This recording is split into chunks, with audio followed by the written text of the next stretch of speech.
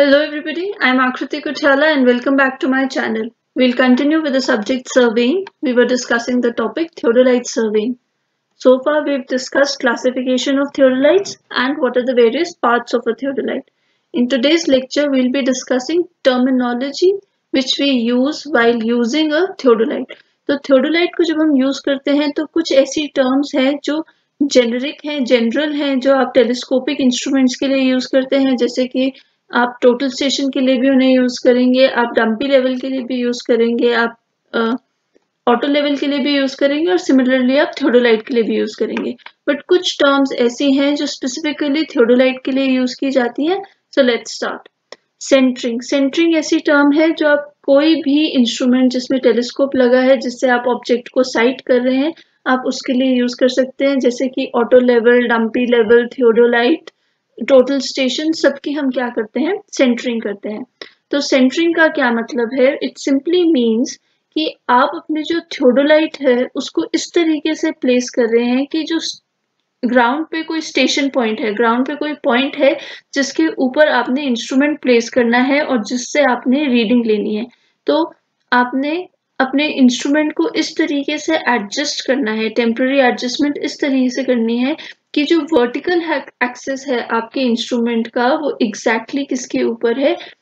जो station point आप required है उसके ऊपर। तो इस पर्टिकुलर फिगर में हम दिखा रहे हैं कि जो ये वर्टिकल एक्सेस है, ये exactly above station point S है। So it means setting a theodolite exactly over an instrument station so that its vertical axis lies immediately above the station mark. तो vertical axis क्या कर रहा है? Station mark के एकदम ऊपर लाई कर रहा है। सो so, मतलब आपने वर्टिकल एक्सेस को ट्रूली वर्टिकल कर दिया है। It can be done by means of a plumb bob आप प्लम बॉब ले सकते हैं। प्लम बॉब एक सिंपल वेट होता है जिसको आपने एक थ्रेड के साथ अटैच किया होता है। अब हम क्या करते हैं? The plumb bob is suspended from a small hook attached to the vertical axis of the theodolite. तो जो theodolite का vertical axis होता है, यहाँ पे एक हुक प्रोवाइडेड होता है। इस हुक से आप उस प्लम बॉब को सस्पेंड करेंगे। यहाँ पे आप वो थ्रेड फंसा देंगे और प्लम बॉब को क्या कर देंगे? सस्पेंड कर देंगे। फिर प्लम बॉब क्या करेगा? प्लम बॉब क्योंकि आपने एक लंबी थ्रेड के साथ नीचे एक वेट लगाया है तो प्लम्बॉब कुछ देर तक एक पेंडुलम मोशन शो करेगा और फिर थोड़ी देर के बाद जब वो डैम्पन हो जाएगी उसकी ऑसिलेशन तो वो एक पॉइंट पे रुक जाएगा। तो जब वो जिस पॉइंट पे रुकता है, वो पॉइंट किसके एग्जैक्टली ऊपर होना चाहिए? जो स्टेशन पॉइंट आप चाह रहे थे, उसके ऊपर होना चाहिए। अगर आपका प्लम्बॉब स्लाइटली डेविएटेड है, थोड़ा सा राइट right को है या थोड़ा सा लेफ़्ट को है तो मतलब आपकी सेंटरिंग अभी एग्जैक्ट नहीं हुई है। हम क्या चाहते हैं कि जो प्लम बॉब है वो एग्जैक्टली अबव पॉइंट एस रुके। तो इसकी हेल्प से हम क्या करते हैं? सेंटरिंग करते हैं। एक और मेथड जो हम सेंटरिंग करने के लिए यूज़ कर सकते हैं, वो है centre shifting arrangement of a theodolite तो थियोडोलाइट में हमने लास्ट लेक्चर में देखा था कि दो प्लेट्स होती हैं जो एक दूसरे के ऊपर स्लाइड कर सकती हैं और उसकी हेल्प से आप क्या कर सकते हैं? सेंटरिंग कर सकते हैं। उसे बोला जाता है centre shifting arrangement centre shifting arrangement हम स्टूडेंट लेवल पे अवॉइड करते हैं यूज़ करना और हम जो ट्राईपॉड लेग्स हैं और आपका जो प्लम्बॉब है उसकी हेल्प से सेंटरिंग करने की कोशिश करते हैं। For more accurate work, we can always use center shifting arrangement to center our instrument. Next terminology है ट्रांजिटिंग ट्रांजिटिंग बहुत ज़्यादा इम्पोर्टेंट है क्योंकि आप देख सकते हैं कि जब हम थियोडोलाइट का नाम लेते हैं तो जनरली हम बोलते हैं ट्रांजिट वर्नियर थियोडोलाइट तो ट्रांजिट वर्ड उसमें आ रहा है मीन्स कि जो आपका थियोडोलाइट है उसके लिए एक बहुत इंपॉर्टेंट टर्म है, ये एक बहुत इंपॉर्टेंट फीचर है जो आपका थियोडोलाइट एग्जिबिट कर रहा है। तो ट्रांजिटिंग को हम प्लंजिंग भी बोलते हैं और रिवर्सिंग भी बोलते हैं। तो रिवर्सिंग से समझ आ रहा है कि आप कुछ उल्टा कर रहे हैं। तो ट्रांजिटिंग में हम क्या करते हैं कि अगर मैं इस टेलीस्कोप को इमेजिन करूँ कि ये हॉरिजॉन्टल है, ये मेरा आईपीस है और ये मेरा ऑब्जेक्ट क्लास है। तो आईपीस को मैंने ई e से डिनोट कर दिया है और ऑब्जेक्ट क्लास को मैंने ओ से डिनोट कर दिया है। तो हम क्या करेंगे? हम इस हॉरिजॉन्टल अगर मैं यहाँ पर ड्रॉ करूँ तो ये हमारा आईपीस था। This was eyepiece E and this was object glass O तो ये हॉरिजॉन्टल था। अब हमने क्या किया? अब हमने इसको रोटेट किया। किस प्लेन में रोटेट किया? हमने इसको वर्टिकल प्लेन में रोटेट किया। मतलब जो सर्कल बनेगा, जब ये टेलीस्कोप रोटेट होगा तो कैसा सर्कल बनेगा? वर्टिकल प्लेन में सर्कल बनेगा। पर किसके अबाउट रोटेट हो रहा है? ये एक हॉरिजॉन्टल एक्सिस के अबाउट रोटेट हो रहा है, जो इस तरीके से पास कर रहा है, जैसा कि यहाँ पे हमने दिखाया है। तो ये हॉरिजॉन्टल एक्सिस है। इस हॉरिजॉन्टल एक्सिस के अबाउट जो है, ये थियोडोलाइट रोटेट करेगा। तो आपने यहाँ पे अगर आप इमेजिन करें तो इस स्क्रू के थ्रू अंदर towards the plane of the screen ये क्या जा रहा है? एक स्ट्रेट लाइन जा रही है, जो क्या फॉर्म कर रहा है आपका हॉरिजॉन्टल एक्सिस और उसके अबाउट आपका ये टेलीस्कोप जो है वो क्या कर रहा है? रोटेट कर रहा है।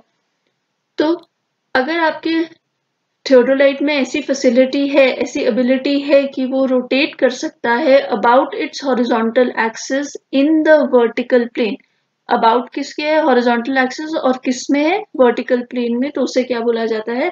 ट्रांजिट ट्रांजिट थियोडोलाइट तो ट्रांजिटिंग क्या है? Transiting is the process of turning the telescope about the horizontal axis through 180 degrees in the vertical plane तो वर्टिकल प्लेन में आपने क्या किया? अगर ये देखें तो ये क्या बन रहा है? एक वर्टिकल प्लेन बन रहा है और आप अपने टेलीस्कोप को क्या कर रहे हैं? आप अपने टेलीस्कोप को 180 डिग्री से रोटेट कर रहे हैं। और उससे क्या हो रहा है? उससे ये हो रहा है कि आपका आईपीस की पोजीशन तो वही रहती है बट आपका जो ऑब्जेक्ट क्लास है वो 180 डिग्री से रोटेट हो गया। उससे जो साइट है ऑब्जेक्ट पहले ही कहाँ को देख रहा था कहाँ से आप कौन से ऑब्जेक्ट को आपने साइड करना था इस पर्टिकुलर ऑब्जेक्ट ए को साइड करना था।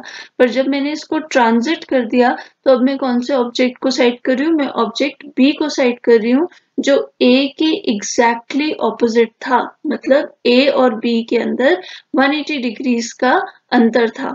सो so, जब आप इस तरीके से अपने थियोडोलाइट को रोटेट करते हैं about the horizontal axis and in the vertical plane तो उसे क्या बोला जाता है? ट्रांजिटिंग इसे प्लंजिंग भी बोला जाता है क्योंकि आप अपने थियोडोलाइट को प्लंज कर रहे हैं, या फिर और सिंपल और ज़्यादा एक्सप्लेनेटरी टर्म क्या है इसकी? रिवर्सिंग तो यहाँ पे हम लाइन ऑफ़ साइट को क्या कर दे रहे हैं? एकदम से रिवर्स कर दे रहे हैं। कितने एंगल से? 180 डिग्रीज के एंगल से। तो पहले ये साइड थी लाइन ऑफ़ साइट और अब क्या हो गई है हमारी लाइन ऑफ़ साइट ये हो गई है। So this makes the telescope point exactly in the opposite direction तो यहाँ पे क्या हो जाएगा? ए और बी जो बिल्कुल ऑपोजिट डायरेक्शन में है, उन ऑब्जेक्ट्स को आप देख सकते हैं without changing the position of the theodolite ये क्यों इंपॉर्टेंट है? क्योंकि आपको अपने थियोडोलाइट को पूरे दोबारा टेम्प्ररी एडजस्टमेंट्स नहीं करनी पड़ी आपको उसको उठा के बदलना नहीं पड़ा दूसरी डायरेक्शन में। आपने सिर्फ़ क्या किया? अपने टेलीस्कोप को रोटेट किया और अब आप दूसरी डायरेक्शन में कर सकते हैं सर्वेइंग जो भी आप काम कर रहे थे। सो so, ये आपको एक 360 डिग्री की फ्रीडम देता है सर्वेइंग करने की। ये जस्ट ट्रांजिटिंग ट्रांजिटिंग से ही आप ये अवेलेबल फीचर को अवेल कर सकते हैं। 360 डिग्री के एंगल पे सर्वेइंग कर सकते हैं इन अ हॉरिजॉन्टल प्लेन अब बात आती है नेक्स्ट वेरी इंपॉर्टेंट टर्म की स्विंगिंग की. स्विंगिंग क्या है? स्विंगिंग में आपके टेलिस आपका जो टेलीस्कोप है, उसको हम हॉरिजॉन्टल प्लेन में रोटेट कर रहे हैं. तो हॉरिजॉन्टल प्लेन में मतलब इस इस डायरेक्शन में आप उसको रोटेट कर रहे हैं, ऐसे आप उसको रोटेट कर रहे हैं. कुछ इस तरह से. तो जब आप अपने थियोडोलाइट को इस तरह से रोटेट करते हैं इन द हॉरिजॉन्टल प्लेन अब सर्कल कैसा बन रहा है? हॉरिजॉन्टल सर्कल बन रहा है और किसके अबाउट रोटेशन हो रही है? वर्टिकल एक्सिस के अबाउट रोटेशन हो रही है। तो इस एक्सिस के अबाउट रोटेट कर रहा है और कौन से प्लेन में रोटेट कर रहा है? हॉरिजॉन्टल प्लेन में रोटेट कर रहा है। तो उसे क्या बोला जाता है? स्विंगिंग बोला जाता है। So it means turning the telescope about it vertical axis vertical axis के अबाउट आपने इसको रोटेट किया कौन से प्लेन में? हॉरिजॉन्टल प्लेन में। अब स्विंगिंग देखिए स्विंगिंग के हमने कुछ नाम दे रखे हैं राइट स्विंग और लेफ़्ट स्विंग तो राइट स्विंग क्या होता है? अगर आप टेलीस्कोप को क्लॉकवाइज रोटेट कर रहे हैं तो अगर मैं इसको क्लॉकवाइज रोटेट करूँ, इस डायरेक्शन में रोटेट करूँ तो वो क्या हो जाएगा? मेरा राइट स्विंग हो जाएगा। पर अगर मैं उसको एंटी क्लॉकवाइज रोटेट करूँ। जैसे मैं यहाँ पे कर रही हूँ तो वो क्या हो जाएगा? लेफ़्ट स्विंग हो जाएगा। तो सिंपली जिस डायरेक्शन में आप अपने थियोडोलाइट को रोटेट कर रहे हैं, वो डायरेक्शन डिसाइड करेगा कि आप राइट स्विंग कर रहे हैं कि लेफ़्ट स्विंग कर रहे हैं। अगर क्लॉकवाइज है तो उसे राइट स्विंग बोला जाएगा। लेफ़्ट अगर एंटी क्लॉकवाइज है तो आप उसे लेफ़्ट स्विंग बोलेंगे। सो आई होप ट्रांजिटिंग और स्विंगिंग आपको समझ आ गई होगी, क्योंकि ये बहुत ज़्यादा इंपॉर्टेंट टर्म्स हैं थियोडोलाइट के लिए। नेक्स्ट आता है फेस लेफ़्ट अब फेस लेफ़्ट क्या होता है? जो ये वर्टिकल सर्कल है, इसकी पोजीशन डिसाइड करती है कि आपके थियोडोलाइट का फेस क्या है। अगर आपका जो ये वर्टिकल सर्कल है, जैसे इस पर्टिकुलर फिगर में है, वो लेफ़्ट साइड पे है ऑब्जर्वर के। ये आई पीस है हमारा। क्योंकि ये आई पीस है तो ऑब्जर्वर यहाँ पे देखेगा। यहाँ से ऑब्जर्वर देखेगा थ्रू द टेलीस्कोप तो ऑब्जर्वर यहाँ पे है। ऑब्जर्वर यहाँ पे फेसिंग इनवर्ड्स अंदर की तरफ़ को देख रहा है और उसके लेफ़्ट हैंड साइड पे क्या फॉल कर रहा है? वर्टिकल सर्कल फॉल कर रहा है। क्योंकि ये vertical circle left hand side पे है तो आप इसको क्या बोलेंगे? लेफ़्ट फेस बोलेंगे। वर्टिकल सर्कल डिसाइड करता है, अगर वो ऑब्जर्वर के राइट हैंड साइड पे है तो वो राइट फेस हो जाएगा, अगर वो लेफ़्ट हैंड साइड पे है तो वो लेफ़्ट फेस हो जाएगा।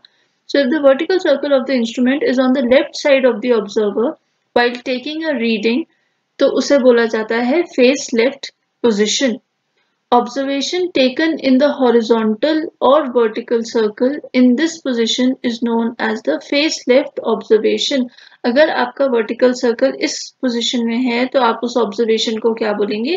फेस लेफ़्ट ऑब्जर्वेशन अब ये इंपॉर्टेंट है, क्योंकि जैसे जैसे हम थियोडोलाइट में आगे बढ़ते जाएँगे, हम सिग्निफिकेंस देखेंगे फेस लेफ़्ट और फेस राइट का। ये हम एरर को रिड्यूस करने के लिए यूज़ करते हैं, जो हम फ्यूचर लेक्चर्स में कवर करेंगे।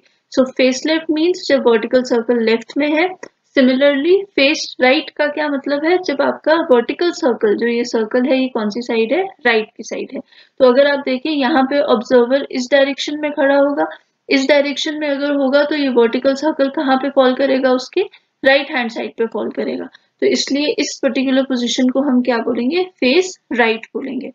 If the vertical circle of the instrument, that is the theodolite, is on the right of the observer, right hand side of the observer, while taking a reading, it is known as face right position. Observations taken on the horizontal or the vertical circle in this position is known as the face right observation. अगर आप कोई observation ले रहे हैं चाहे आप उसे horizontal plane में ले रहे हैं चाहे आप उसे वर्टिकल प्लेन में ले रहे हैं अगर आपका vertical circle towards the right है ऑब्जर्वर के तो उसे क्या बोला जाएगा? फेस राइट ऑब्जर्वेशन बोला जाएगा। और उस पोजीशन को क्या बोला जाएगा? Face right position so it is very simple आपने जस्ट ऑब्जर्वर के रिस्पेक्ट में वर्टिकल सर्कल की पोजीशन देखनी है। अगर वो राइट right है तो राइट right फेस है। अगर वर्टिकल सर्कल ऑब्जर्वर के लेफ़्ट में है तो लेफ़्ट फेस है। अब बात आती है चेंजिंग फेस तो चेंजिंग फेस जैसे मैंने आपको बताया कि हम एरर को रिड्यूस करने के लिए फेस राइट और फेस लेफ़्ट जो ये है पोजिशन है, उनको यूज़ करते हैं। तो उसमें आप क्या करेंगे? आप अपने जो ये फेस है फेस राइट को फेस लेफ़्ट में बदल सकते हैं या फिर आप फेस लेफ़्ट को फेस राइट में बदल सकते हैं। कैसे? चेंजिंग फेस से। आपको दो सिंपल स्टेप्स फॉलो करने हैं और आपका फेस क्या हो जाएगा? चेंज हो जाएगा। So let's see It is the operation of bringing the vertical circle to the right of the observer if it is originally to the left. मतलब अगर शुरू में आपका जो ऑब्जर्वर है, उसके राइट हैंड साइड पे था आपका वर्टिकल सर्कल तो आपने क्या करना है? आपने कुछ मूवमेंट्स करनी है अपने थियोडोलाइट में ताकि ये वर्टिकल सर्कल कहाँ पे आ जाए? ये वर्टिकल सर्कल लेफ़्ट पोजीशन पे आ जाए। तो इस प्रोसेस को क्या बोला जाता है? चेंजिंग फेस कैसे, और उल्टा भी हो सकता है कि पहले आपके ऑब्जर्वर के लेफ़्ट में था और फिर आपने उसको कहा ले गया? राइट डायरेक्शन में ले लिया। So it is done in two steps दो स्टेप्स में किया जाता है, इन्हें समझे, ये बहुत इंपॉर्टेंट है। Firstly revolve the telescope through 180 degrees in the vertical plane vertical plane का मतलब क्या है? पहले आपने अपने टेलीस्कोप को क्या करना है? ट्रांजिट करना है। तो हमने अपने टेलीस्कोप को ट्रांजिट कर दिया। ट्रांजिट करने का मतलब है मैंने 180 डिग्री से उसको रोटेट कर दिया और about the horizontal axis in the vertical plane तो सबसे पहला स्टेप क्या है? ट्रांजिटिंग ट्रांजिट करने के बाद आपने क्या करना है? उसको स्विंग करना है। Rotate it through 180 degrees in the horizontal plane अब आपने क्या कर दिया? आपने उसको स्विंग कर दिया in the horizontal plane so मान लेते हैं कि ये आपका प्लान है, ये हमारा टेलीस्कोप है और ये आपका वर्टिकल सर्कल है। ये मेरा आई पीस है और ये मेरा ऑब्जेक्ट क्लास है। अब हमने क्या करना है, हमने इस टेलीस्कोप को हम प्लान में देख रहे हैं तो हम इस टेलीस्कोप को क्या करेंगे रोटेट कर देंगे कितने से? 180 डिग्री से। तो रोटेट करने पे हमें कुछ ऐसा दिखाई देगा, आपका ऑब्जेक्ट क्लास 180 डिग्री से रोटेट कर गया है आई पीस वहाँ शिफ्ट हो गया है वर्टिकल सर्कल अभी भी क्या है? सेम डायरेक्शन में। तो ये जो ये प्रोसेस है, इतने से स्टेप को हम क्या बोलते हैं? ट्रांजिटिंग बोलते हैं। हमने यहाँ पे थोडोलाइट की क्या करे अभी? ट्रांजिट किया हमने। 180 डिग्री से उसको रोटेट किया about the horizontal axis in the vertical plane तो आप देख सकते हैं कि वर्टिकल सर्कल दोनों फिगर्स में कहाँ पे है? राइट हैंड साइड पे है। सिर्फ़ अभी क्या हुई है? लाइन ऑफ़ साइट 180 से शिफ्ट हो गई है। हमने क्या करना है? हम तो चाहते हैं कि लाइन ऑफ़ साइट यही रहे, पर ये जो ये वर्टिकल सर्कल है, ये कहाँ पे आ जाए? लेफ़्ट हैंड साइड पे आ जाए। तो अब हम क्या करेंगे? अब हम इसको रोटेट करेंगे। हम अपने जो टेलीस्कोप है या थियोडोलाइट है, इसको इस तरीके से एंटी क्लॉकवाइज डायरेक्शन में रोटेट करेंगे, ताकि जो मेरा वर्टिकल सर्कल है, वो कहाँ पे आ जाए? लेफ़्ट में आ जाए। तो यहाँ पे आप देख सकते हैं, अब मैंने क्या किया? मैंने इसको स्विंग किया। ये क्या स्टेप है? This step is known as swinging यहाँ से यहाँ तक मैंने क्या किया अपने थियोडोलाइट को? मैंने इसे स्विंग किया है हॉरिजॉन्टल प्लेन में। मैंने इसे रोटेट किया है इस डायरेक्शन में। इस तरीके से मैंने उसे रोटेट किया है। अगर मैं इन पोजीशंस को नाम दे दूँ ए बी और सी तो हमने क्या किया है? हमने पोजीशन ए और सी में सिर्फ़ वर्टिकल सर्कल की पोजीशन चेंज करी है। मतलब हमने सिर्फ़ फेस चेंज किया है, अगर आप देखें। पोजीशन ए में वर्टिकल सर्कल राइट में था और पोजीशन सी में वर्टिकल सर्कल लेफ़्ट में है। बट अगर आप ऑब्जेक्ट क्लास और आईपीस को देखें तो वो दोनों पोजीशंस में क्या है? सेम डायरेक्शन में है। लाइन ऑफ़ साइट दोनों की सेम डायरेक्शन में है। तो ए और जो हमारी इनिशियल पोजीशन है इनिशियल पोजीशन ए थी और फाइनल पोजीशन सी थी। तो उसमें हमने सिर्फ़ अपने फेस को चेंज किया है, बाकी कुछ चीज़ चेंज नहीं किया। तो इस प्रोसेस को बोला जाता है चेंजिंग फेस जिसमें ट्रांजिट है फ़र्स्ट स्टेप और सेकंड स्टेप क्या है आपका? स्विंगिंग द टेलीस्कोप और दोनों में आप रोटेशन कितने से दे रहे हैं? 180 डिग्री से रोटेशन दे रहे हैं रिस्पेक्टिवली इसी तरीके से अगर आपका जो वर्टिकल सर्कल है, वो लेफ़्ट हैंड साइड पे हो इनिशियल पोजीशन में, आप उसको राइट हैंड साइड में लेके आ सकते हैं। आपने सिंपली क्या करना है, पहले अपने टेलीस्कोप को ट्रांजिट करना है 180 डिग्री से और फिर उसको स्विंग कर देना है 180 डिग्री से। तो बाकी सारी चीज़ें सेम रहेंगी, सिर्फ़ आपके वर्टिकल पोजिशन वर्टिकल सर्कल की पोजिशन चेंज हो जाएगी। Next is the line of collimation line of collimation को और क्या बोला जाता है? लाइन ऑफ़ साइट तो अगर आप देखें तो हमारा जो ये टेलीस्कोप है इसमें तीन पोजिशन तीन ऑब्जेक्ट्स होते हैं। एक है आईपीस बीच में आता है आपका डायफ्रम और लास्ट में होता है आपका ऑब्जेक्ट क्लास तो ये जो ये तीन पार्ट है हमारे टेलीस्कोप के उनकी हेल्प से हम कुछ इमेजिनरी लाइंस बनाते हैं और उसमें से फ़र्स्ट इमेजिनरी लाइन है लाइन ऑफ़ कॉलिमेशन जिसको लाइन ऑफ़ साइट भी बोला जाता है। सो so, जैसे मैंने बताया कि ये कैसी लाइन है it is an imaginary line अब जो ये डायफ्रम है, इस डायफ्रम में कुछ क्रॉस हेयर होते हैं। इस तरीके से कुछ आपको एक प्लस का साइन दिखाई देता है, इसे बोला जाता है क्रॉस हेयर ये क्रॉस हेयर क्यों होते हैं? ताकि आप जो ऑब्जेक्ट जिसको आप साइट कर रहे हैं, उसको परफेक्टली बाइसेक्ट कर सकें। आप उसको देख सकें और उसको एग्जैक्टली exactly लोकेट कर सकें। जब आपका ये क्रॉस हेयर एग्जैक्टली exactly आपके ऑब्जेक्ट को बाइसेक्ट करता है तभी आप रीडिंग ले सकते हैं। सो so, ये जो डायफ्रम के क्रॉस हेयर का पॉइंट ऑफ़ इंटरसेक्शन है ये जो ये रेड पॉइंट है इस पॉइंट से आपने क्या करना है एक लाइन पास करवानी है और वो लाइन और कहाँ पे पास करनी चाहिए? From the optical centre of the object glass ये ऑब्जेक्ट क्लास का जो ऑप्टिकल सेंटर है इससे भी ये पास करेगी। तो अगर आपकी लाइन ये क्रॉस हेयर से पास कर रही है और ऑब्जेक्ट क्लास से पास कर रही है और आप इसको जोड़ दें तो ये क्या बनती है? आपकी लाइन ऑफ़ कॉलिमेशन बनती है। सो so, इम्पोर्टेंट क्या है? Line of collimation is the point is the line joining the intersection of the crosshair of the diaphragm to the optical center of the object class and in its continuation और फिर आप उसे continue कर सकते हैं, जहाँ पे भी आप ऑब्जेक्ट साइट कर रहे हैं। तो इम्पोर्टेंट यहाँ पे डायफ्रम है। फिर आता है axis of the telescope axis of the telescope में क्या है? जो आई पीस का सेंटर है और जो आपके ऑब्जेक्ट क्लास का सेंटर है, इनको जब आप ज्वाइन करते हैं तो आपके पास क्या बनता है? आपके पास एक्सिस ऑफ़ द टेलीस्कोप बनता है। तो जब मैं इन दो लाइंस को, इन दो पॉइंट्स को ज्वाइन कर रही हूँ आई पीस और ऑब्जेक्ट क्लास के सेंटर को तो हमें क्या मिलेगा? एक्सेस ऑफ़ टेलीस्कोप मिलेगा। So it is also an imaginary line again कैसी लाइन है? इमेजिनरी लाइन है। किसको ज्वाइन कर रही है? ऑप्टिकल सेंटर को ज्वाइन कर रही है। Of the object glass and to the centre of the eye piece तो यहाँ पे अगर आप ध्यान से देखें तो ऑब्जेक्ट क्लास तो हमारा सेम है, दोनों इमेजिनरी लाइंस के लिए बट जो स्टार्टिंग पॉइंट है वो दोनों लाइंस का डिफरेंट है।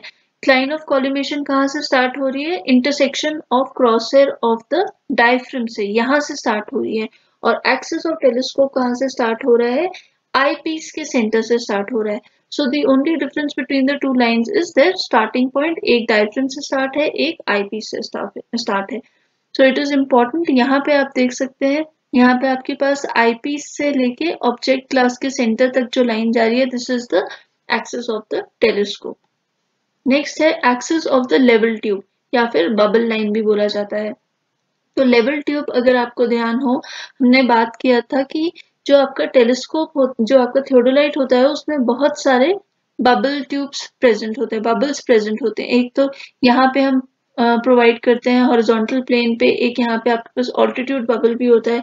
तो हर ऑल्टीट्यूड बबल या जो आपका हॉरिजॉन्टल प्लेट पे जो लेवल है, उनका क्या होता है? एक्सेस होता है। अब वो एक्सेस कैसे डिटर्मिन करते हैं? ये आपका बबल ट्यूब है और ये इसका एक लॉन्गिट्यूडनल कर्व है। आप देख सकते हैं ये ऊपर क्या है? लॉन्गिट्यूडनल कर्व जब आपका बबल सेंटर में आ जाएगा, जो हमारी एम होता है तो ये हमारा बबल था, ये हमने कहाँ पे ले आया? सेंटर में ले आया। तो जब हमारा बबल सेंटर में आ जाएगा तो उस सेंटर पॉइंट से अगर मैं टेंजेंट ड्रॉ करूँ तो वो टेंजेंट क्या होगा? Axis of the bubble tube हो जाएगा। ए बी टी जिससे यहाँ पे इसको डिनोट किया जा रहा है। अब ऑब्वियसली अगर आप किसी टेंजेंट की बात कर रहे हैं तो टेंजेंट कहाँ पे होगा? टेंजेंट एक पर्टिकुलर पॉइंट पे होगा, और वो कौन सा पॉइंट है? सेंटर ऑफ़ द ट्यूब का पॉइंट है। और सेंटर ऑफ़ द ट्यूब का पॉइंट हमने क्यों लिया है? क्योंकि इस टाइम पे आपका बबल कहाँ पे होगा? सेंटर पे होगा। तो इनडायरेक्टली आप बबल का सेंटर ले रहे हैं। It is horizontal when the bubble is central तो जब बबल सेंटर में आ गया है मतलब हम बोलते हैं कि हमारा इंस्ट्रूमेंट जो है, वो क्या हो गया है? परफेक्टली हॉरिजॉन्टल हो गया है। परफेक्टली हॉरिजॉन्टल हो गया है तो ये जो टेंजेंट इस सेंटर से पास करेगा मतलब जो axis of the bubble tube है, वो किसके पैरेलल हो जाएगी? आपके हॉरिजॉन्टल एक्सिस के पैरेलल हो जाएगी। और ये आपको बताएगा कि आपका इंस्ट्रूमेंट लेवल हो चुका है। ये इसमें भी हेल्प करता है, जब आप सेंटरिंग करते हैं तो आपका जो वर्टिकल एक्सिस अगर ट्रूली वर्टिकल है, और आपने लेवलिंग कर दी है, आपका हॉरिजॉन्टल एक्सिस ट्रूली हॉरिजॉन्टल हो गया है तो इन दोनों के बीच में 90 डिग्री का एंगल बन जाएगा, और ये बबल कहाँ आ जाएगा? सेंटर में आ जाएगा। So, this is known as the axis of the bubble tube या फिर of the level tube.